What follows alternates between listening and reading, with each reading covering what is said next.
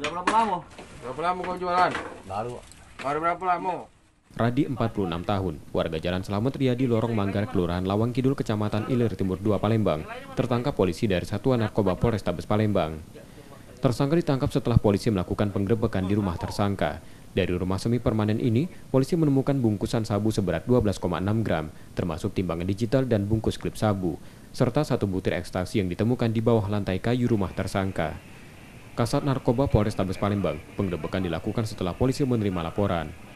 Jadi yang bersangkutan ini memang kita mendapat informasi dari masyarakat ya bahwasanya ada pengedar di Lorong Manggar dan setelah kita lakukan penggeledahan di rumahnya eh, beberapa lama ya beberapa lama kita dapatkan rupanya sabu ini disimpan di bawah lantai rumahnya. Lantai rumahnya ini dari papan jadi kita sudah agak membongkar papan kemudian juga eh, baju yang dipakai untuk transaksi waktu itu juga kita eh, amankan.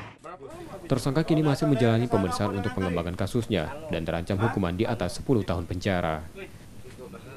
Yudi Kiswanto, Kompas TV, Palembang, Sumatera Selatan.